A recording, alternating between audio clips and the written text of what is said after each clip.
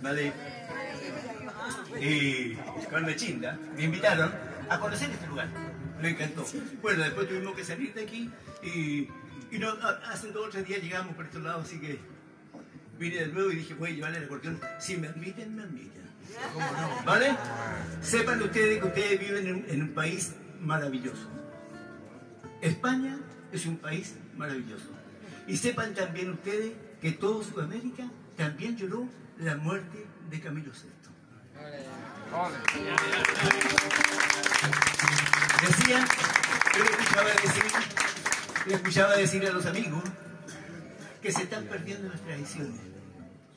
Sepan también ustedes que un pueblo que pierde sus tradiciones está condenado a perder su identidad. Exactamente. Así es. Bravo.